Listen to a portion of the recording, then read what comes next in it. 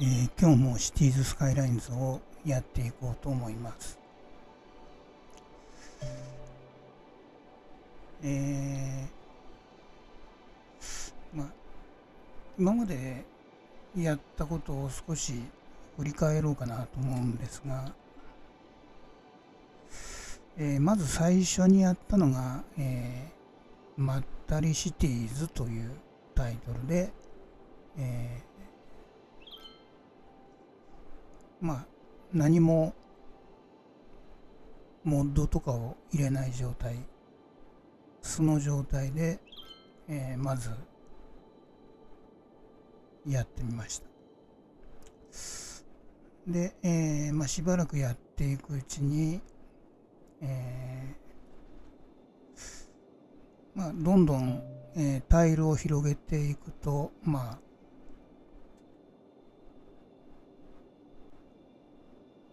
まあ、デフォルトでは9つまでしかタイルを使えません。ということが、まあ、分かりました。で、えー、まあ、それだと、まあ、これ以上人口増えないなっていうことで、まあ、それではちょっとつまらないということで、えーまあ、モッドについて少し調べてみました。で、まあ、そうしたら、えー、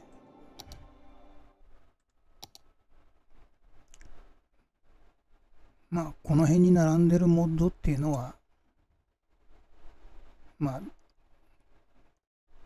特にこういうのを使ってますよっていう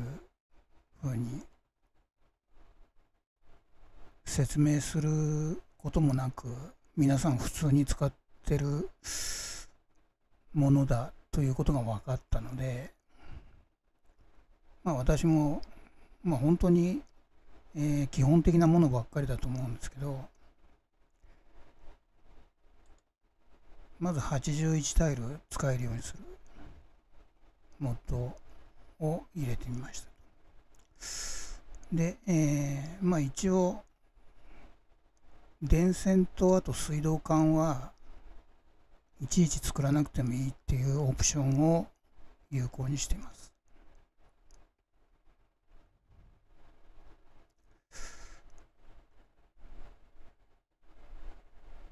まあそれねそれ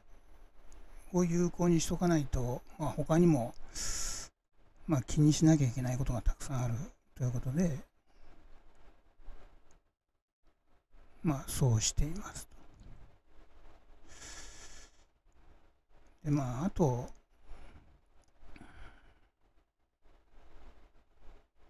これは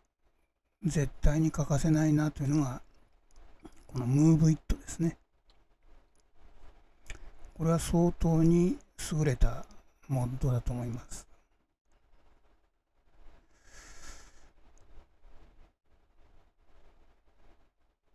まあ、道路の整形とかが自由にできるというのは素晴らしいなと思います。まあ、道路道路関係でいうと、えー、ファインロードアナーキーとかですね、あるいはネットワークアナーキーという、そういうモッドもあるんですけど、まあ、それ入れてみて入れてみたこともあるんですが、ちょっと道路がちょっと穴開きになりすぎてですね、途中まで引いた道路を壊して、で、え、道路を引き直そうとすると、もう全然つながらなくなってしまったりとかですね、そういうことが、えー、起こり、起こりうるので、もう、まあ、道路は引けるように引いてみて、あとはムーブイットで成形すればいいかなという考えに変わりました。まあ、あとはこのトラフィックマネージャーですね。これは、えー、まあ、信号の付け外しとかですね。あと制限速度を変える。あるいは車線の進行方向を調整するぐらいのことはたまにやります。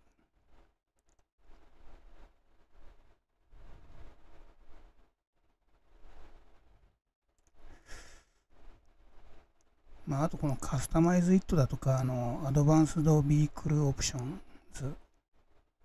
こういったのは、あの、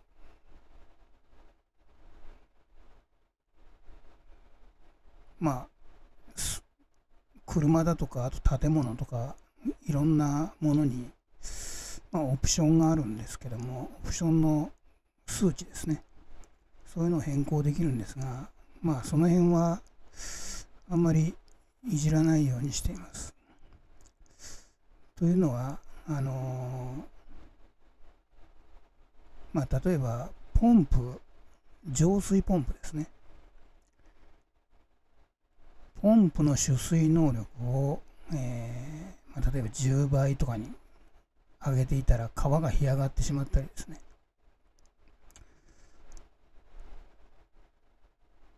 あるいはその火葬場の処理能力を例えば10倍にしてみた。で、まあ、10倍にするときはいいんですけども、えー、元に戻す、元に戻そうとしたときに、というか元に戻したときに、まあ、とんでもないことが起きてしまう。今まで10倍の処理をしていたのが一気にそれが元に戻ってしまったら、まあ、とんでもないことになってしまうので、まあ、そういう数値はあまりいじらないようにしています。まあ、ただ、えー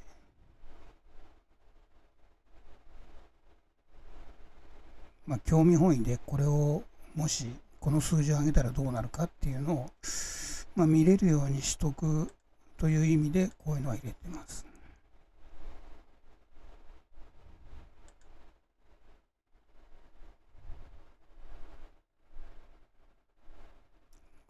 も設定してないですね。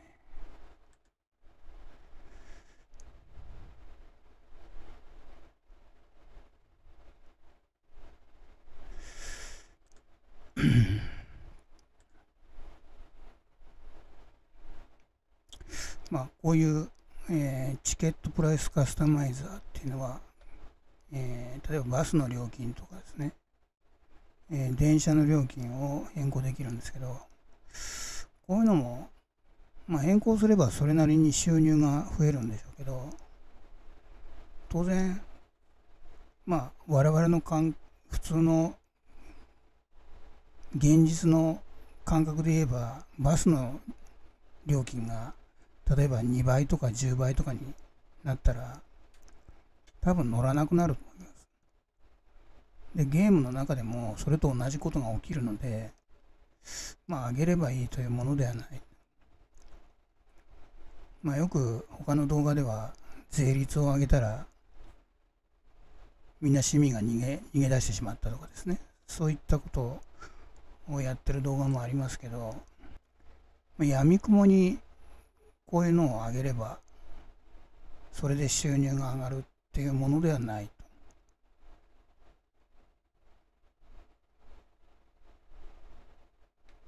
ただ、あまりにも、例えばバスに乗る人が多いので、まあ、ちょっとだけ上げてみようと。そうすると、まあ、乗る人が多少は減るので、まあ、そういう調整ぐらいにしか、今のところ使うことは考えてないです。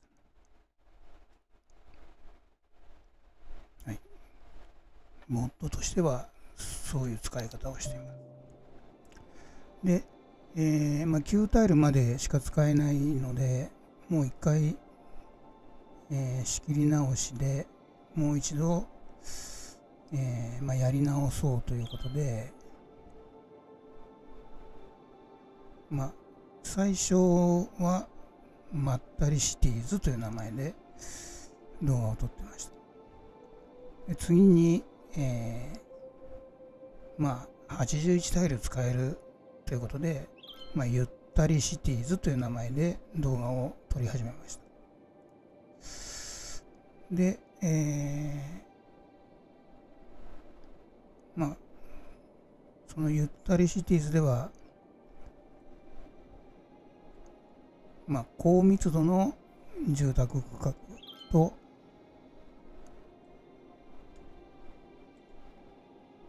高密度ですね高密度の住宅区画と高密度の、え、商業区画というのを使って、えー、まあ、高層ビルが立ちな並ぶような街を作ってみようということでやってました。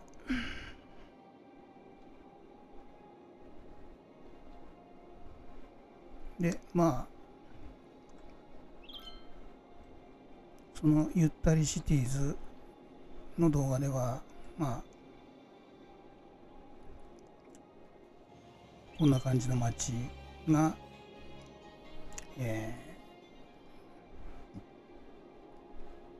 ー、こう果てしなく続くようなそういう街をこの需要に任せてですねこの需要のグラフだけを見て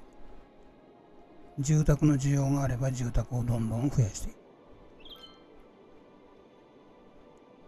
く。商業区画の需要が出てきたら、えー、商業区画をどんどん増やしていく。産業も同じですね。でそうやって、えーまあ、一応渋滞はしないように道路を引きながら、まあ、そういうことを、えー、まあ、ある種やみくもにやっていきました。で、まあ、前回の動画で話したんですけども、その途中で、まあ、大変なことが起きたと。で、えー、まあ、こういった街なので、まあ、これ集合住宅なんですけどこの建物この建物一つにまあ大体、えー、100人弱。まあこれレベルが上がりきってますけど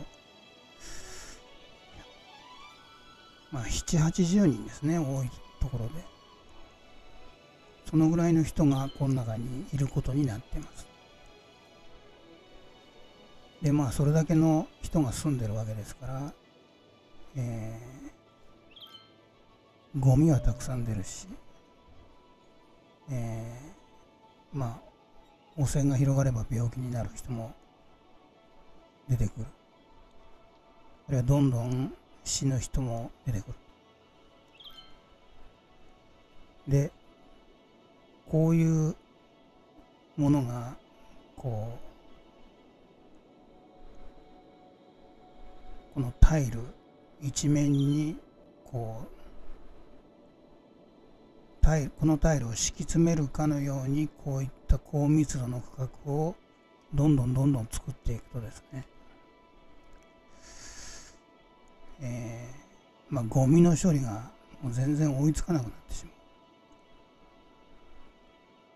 あるいは、えー、もう死んだ人の遺体を回収するのが間に合わなくなっ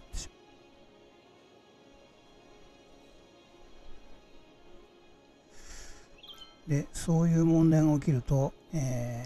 ーまあ、こんな町にはいられないってことでみんなどんどん町を出てってしまうそういう状態になってしまうっていうことが、まあ、分かりました。なので、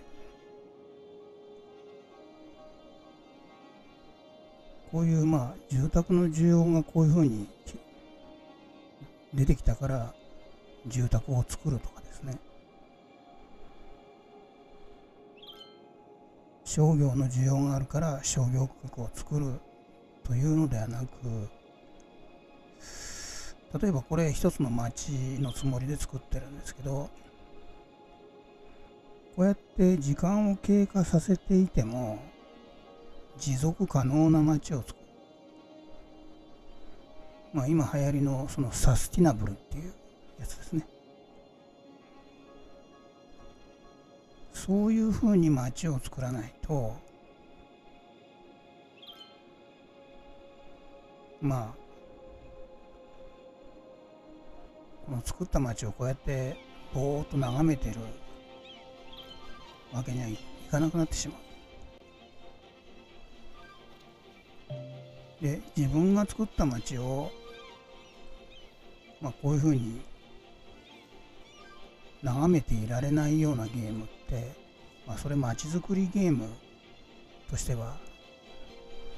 街づくりゲームのプレーの仕方としてはまずいのかなとそういうことに、まあ、気づいて、えーまあ、前回の動画では、まあ、そういうことになってしまうということを30分ぐらいとうとうと話をしたと思います。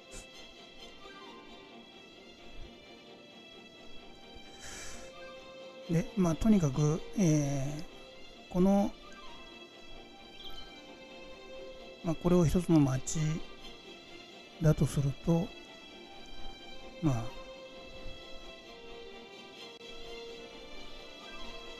特にこう例えばゴミの処理状況がですね大丈夫かどうかっていうのをもう常時目を皿にして見てなくてもいいようにそういう街にしなきゃいけないなで今回はまあそれを心がけてやっているつもりですなので、今のところ、まあ、大した、えー、異常は起きていない。まあ、例えば、ゴミの処理状況は、えー、まあ、おおむね水色ですよ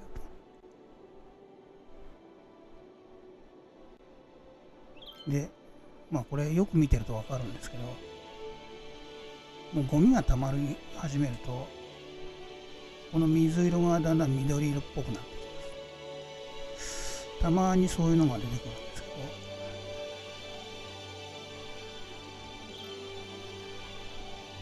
ど一応まあこれ結構スカスカな街なんですけどこれリサイクルセンターですね。このリサイクルセンターを4つ置いています。今のとこそれでゴミ処理が回ってるようです。まあ、ただですね、なぜか、このゴミの収集車が、この高速道路の方に出てってしまうっていうのがたまにあるようです。で、まあ、それをどうやって制御したらいいのかっていうのはわからないんですけど、まあ、この町のために置いたリサイクルセンターなのに、まあ、なんで高速道路に出てって、まあ、もしかしたらこっちで何かしてるのかもしれませんけどそういうのはちょっと気になります。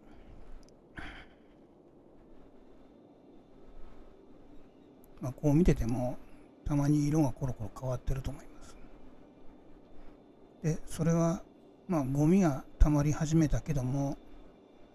ゴミの収集車が来てゴミを回収したからまた色が水色に戻るでまあそういうことを常に繰り返してるわけです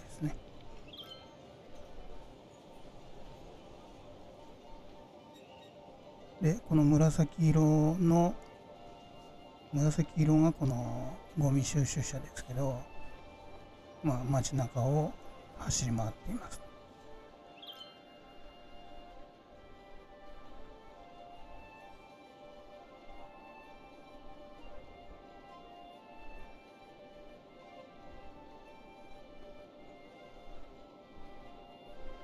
で一応この町は、えー、まあ、眺めていられるような状態に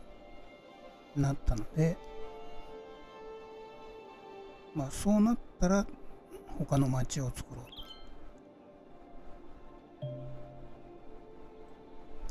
えー、2つ目に作ったのはここですね。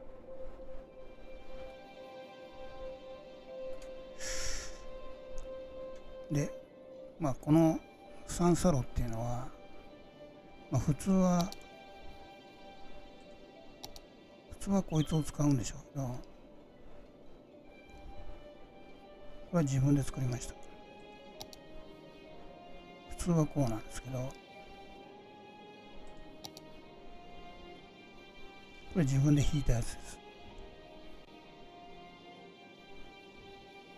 なんでちょっとおかしな格好してますが、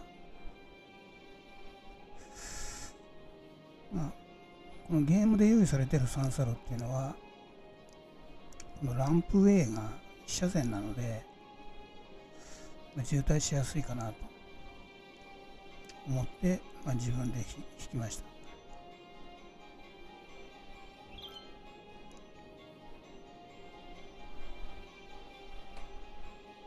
これがデフォルトのサンサラですね。これは1車線です。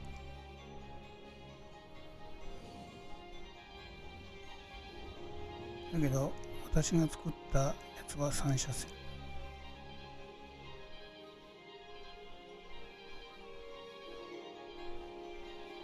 でまあこれをこういうのを作るのにこのムーブイットっていうのはすごくまあ、役に立つかな。こういうところをこうやって動かせるわけです。この道路の形を滑らかにすることができる。あるいはこの柱の高さ調整とかですね。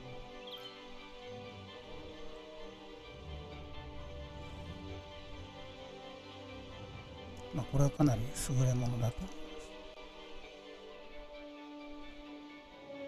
ます。で、まあ、そういう感じで、えー、持続可能な街を確実に作っていくというやり方で、えー、まあ、再スタートしています。なので、まあ、動画のタイトルは、まあ、えー、ちゃんとした街をしっかり作るということで、えー、しっかりシティーズというタイトルにしようかなと思ってます。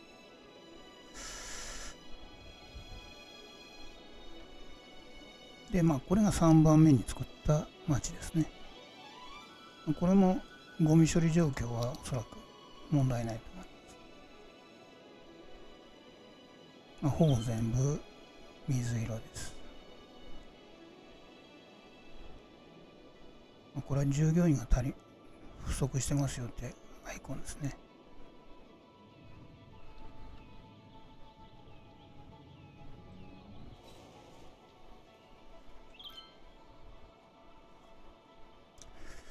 まあ、こういうアイコンが出たときは、私がよくやるのは、えー、通過してるバス路線を、えー、ちゃんとこのバス停に参加させるっていうことをよくやります。まあ、それで解消することがあります。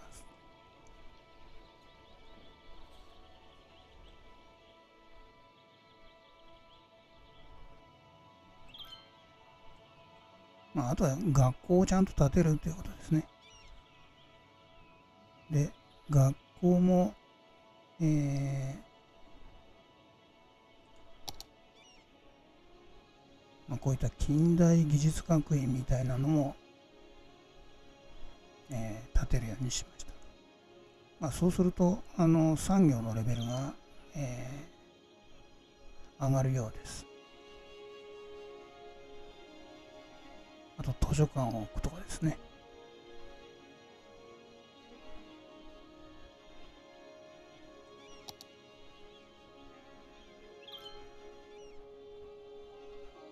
で、まあ、住宅のレベルはもう少しで、えー、全てレベル5になります。産業のレベルはもうほとんど上がりきってますね。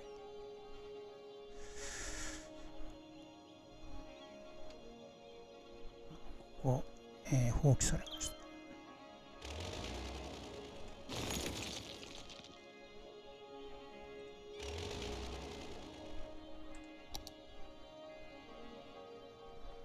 でまあ人口はまあ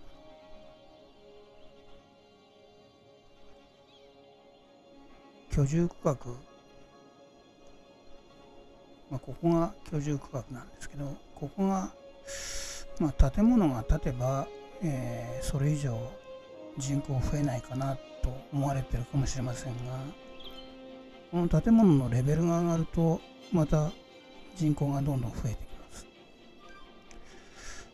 で、えーまあ、住宅のレベルが上がりきったらおそらく、えーまあ、それ以上人口は増えないかなと。でまあ今までみたいにこの需要があるから住宅区画を作るなんていうのはまあダメだということですね。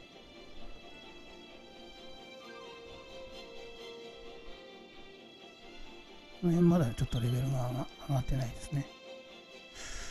この辺はもうレベルが5になっています。ここはまあ 4. 点いくつってとこですね。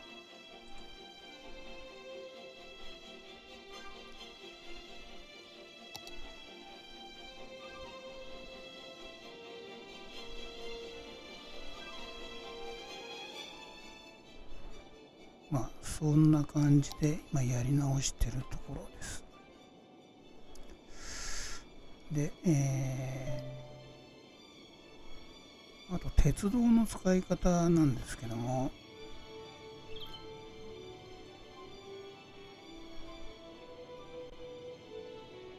まあ、前のシリーズでは鉄道が渋滞し始めましたなんていう、まあ、変なことも起きてたんですけどまあ、確かにめちゃくちゃ走っていますけど、まあ、渋滞するほどではないかな。完全に詰まってしまって、全く動かないっていうことはまだ起きています。で、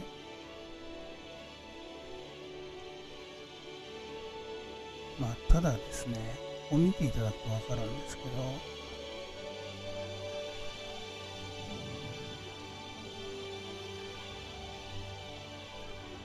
まあ、ここに結構、えー、乗客がいっぱいここで降りるんですけどその降りた乗客がいきなり車に乗ってダーッと現れる。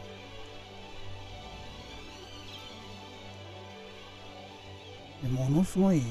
たくさんの車がここでいきなり現れるんですけど、まあ、その車は見てると、えーまあ、この辺を通この辺を通ってですねみんな高速道路に抜けていくようです。はい、これまた出てきましたね。はいでこのいっぱい出てきたのをどこに行くのかって見てると、まあ、この街の中に入ってくる車っていうのはそんなにいなくてもうみんな高速道路の方に抜けていくと。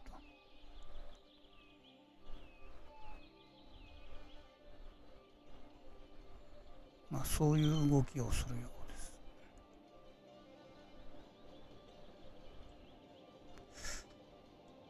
ここまで電車で来て高速道路に出ていくっていうのはどういうことなのかよく分かりませんけど。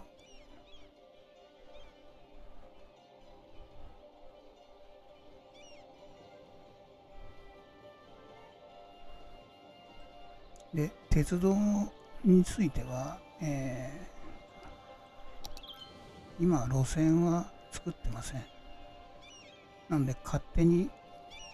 まあ、ここに駅を作ったら勝手にこう人が乗り降りするようになりました。今すごい人がおりましたね。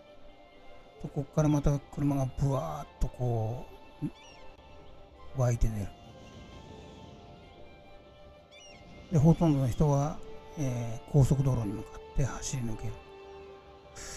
っていうことが続いています。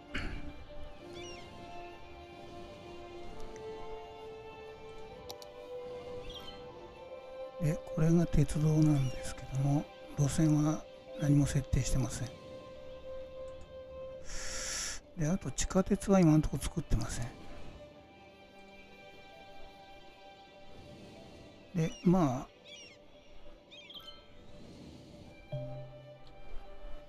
鉄道が鉄道が走ってないところは地下鉄で結ぶしかないのかなと。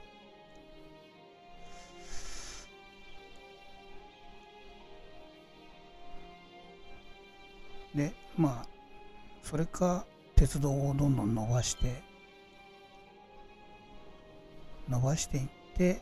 えー、つなぐか。まあつなぐというか走らせる。特に路線を設定しないので、まあ、走らせるだけ。そうすると、まあ、勝手に人が到着したりあるいは人がそその駅からよそへ移動する。いうことをやり始めるようになります。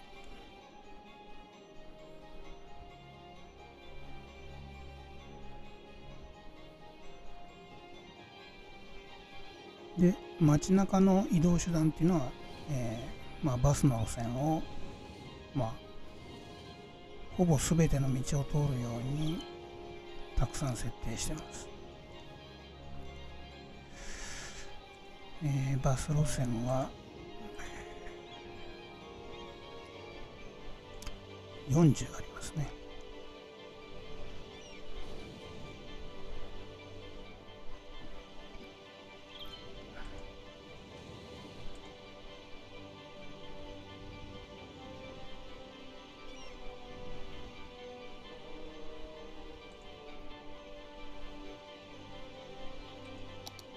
でまあバスの路線っていうのは、えーまあ、例えばこの町と町の間に路線を作れるかなと思ったらまあそうではない、まあ、今この町とこの町は高速道路でしか、えーまあ、道路はつながってないんですけどこの渡りをしていないので。まあ、そうすると、まあ、バスは高速道路を通らないとこっちには行けないんですけどそういう路線は作っていませんただどうもよく見てると、えー、バスがここから高速道路に出てって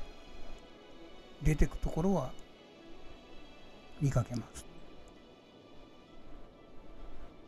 というのと、まあ、路線を設定したわけではないんですけども、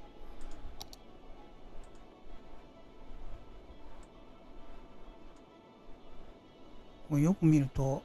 えー、高速道路上に路線があり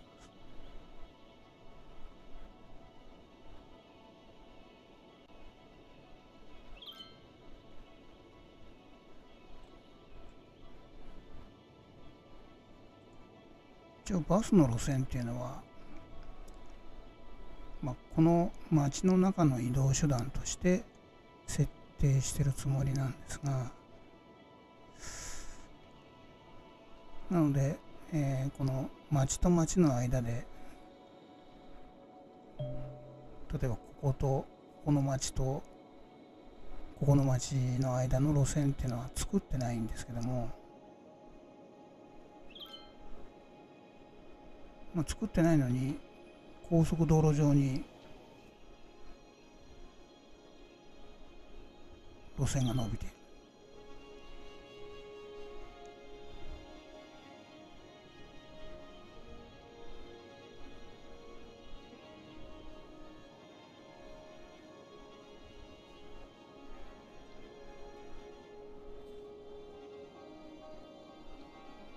でそれはどういうことなのかちょっとよくわかりません。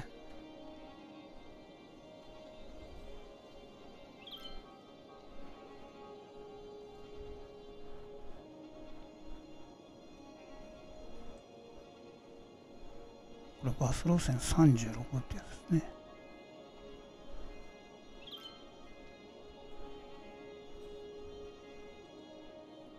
こを通るように引いた覚えはないし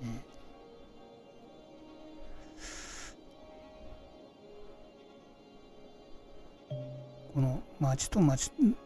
町と町をつながなければここに出るはずがないんですけどまあ結果的には今こういうふうに路線があるように見えてます。で実際にその路線上をバスも走っていますこのたまに青いのこれ路線のないところ走ってますけどこれも意味が分かりません。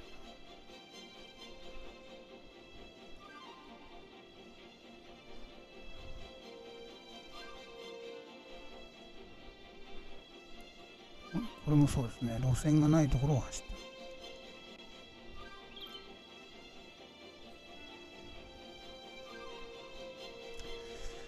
まあ、そういうちょっと変な動きはしてますが、えー、まあその辺はどうしようもないので、えー、まあ、無視するしかないかなと。で気をつけなきゃいけないのはやはりゴミの状況それから、えー、まあ、遺体の処理ですねで遺体の処理っていうのはここにあまりちゃんと表示されないんですけどもうこれ死者の数が出てるんですけどこういうふうに放置されてる死者の数っていうのはここに出ないですね。でこのグラフは、えー、死者の数とこの、まあ、仮想上の収容可能人数でこのグラフを表示してるみたいです。まあおそらくそういう数字はあるはずなので表示しようと思えばできるんでしょうけどまあそういう機能を作ってないってことですね。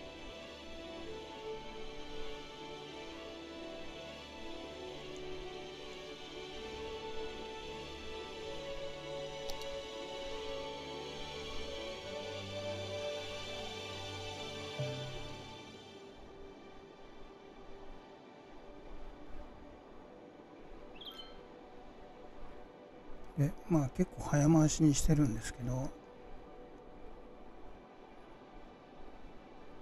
まあ、一応問題なく動いているようです。たまにこうやっていますけど。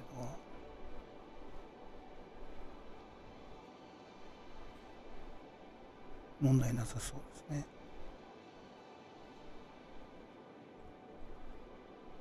でまあこういうふうに一個一個の町をちゃんと持続可能な形でになったということが確認できたら、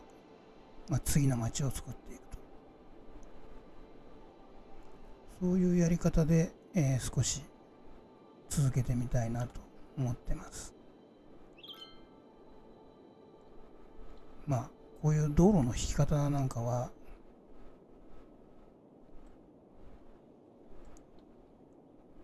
まあ、渋滞しないように、えー、いろいろ弾き方を変えてるんですけども。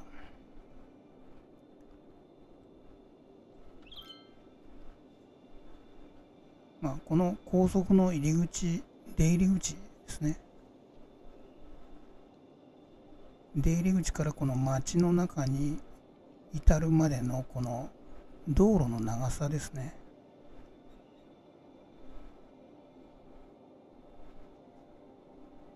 まあそれを工夫すればこの高速道路まで渋滞が伸びるってことはもう、ま、おそらくない。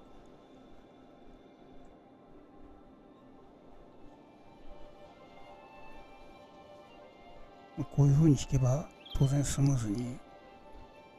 流れます。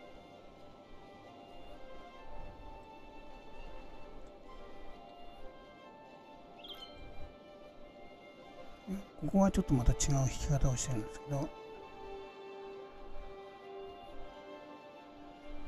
この多分渋滞はししないと思います。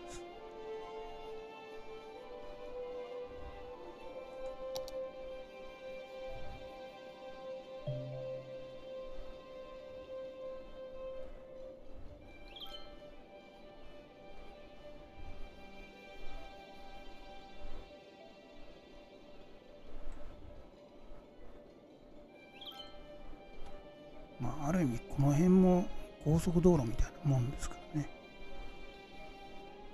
この辺全部、えー制限速度100キロのランプウェイを使ってます。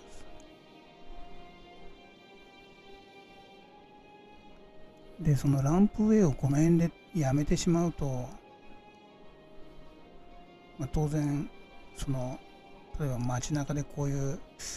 ちっちゃな渋滞が積み重なってまあ、高速道路までつながってしまうということが起きるので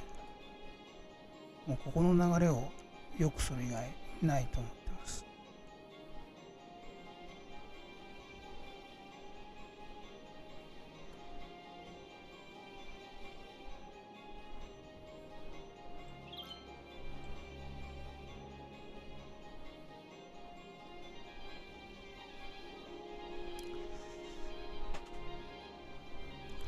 では、えーまあ、こんな感じで、えーしっかりシティーズっていうタイトルで、えーまあ、何回か、えー動画を撮っていきたいなと思います。